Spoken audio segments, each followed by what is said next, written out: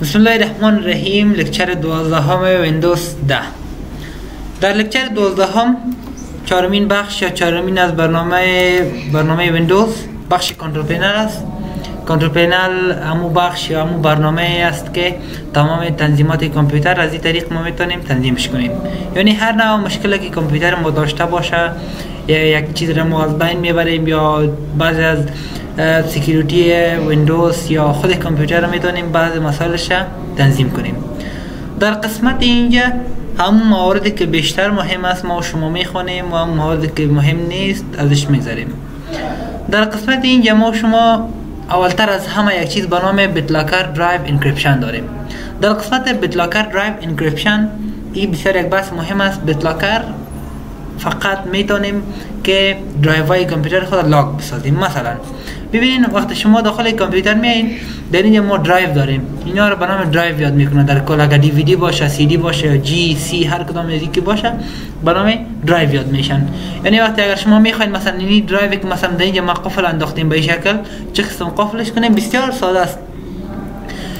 یا از این قسمت control panel بیاین از این قسمت BitLocker کلیک کنین از این قسمت هم می‌تونین شما lock ش بسازین. یا از قسمت اینجا بیاین داخل My Computer. در اینجا بیاین مثلا در بالای خود درایو right click کنین برش بگوین که turn on BitLocker این طریقه ساده تر است نسبت به او. شما خوب است که طریقه یاد بگیرین براتون ساده تر باشه.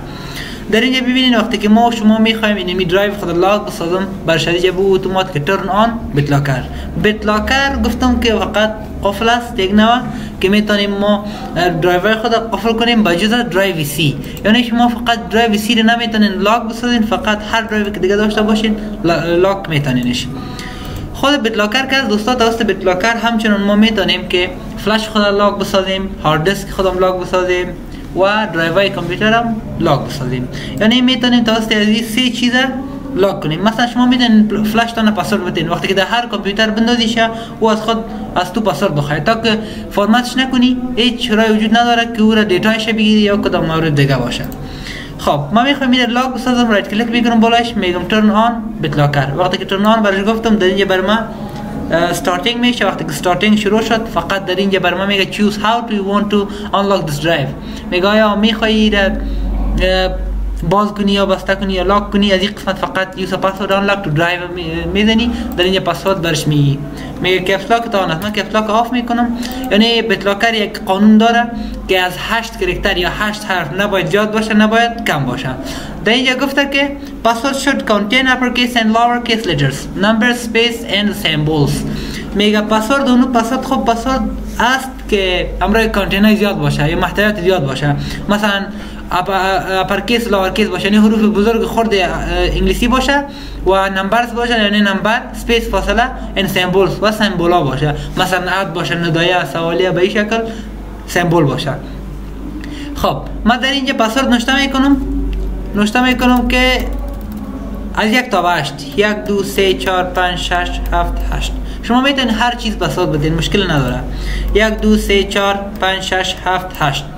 به شکل. فقط از این قسمت برش next میگم وقتی که next گفتم یعنی به این معنا که دیگه بر ما save میشه. در اینجا ببینید چند موضوع بسیار مهم است. در اینجا گفته save your Microsoft account در اینجا اول موضوع را باید ما شما فهمیم که چی گفته چی را save کنم. موضوع در اینجا این قرار است که وقتی شما مثلا می‌خواین این recovery key از این save کنین.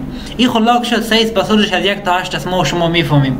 ولی یک recovery key داره که باز پسان ما کارش می‌کنم که چه قسم می‌تونیم از غیر از اینکه پاسورد استفاده کنیم از recovery key ش هم استفاده کنیم که lock unlock شوه اینا ما از این قسمت save your Microsoft account اگر مثلا ما شما Microsoft account داشته باشیم در کامپیوتر خود sign باشه می‌تونیم میگه دو save ش کنی.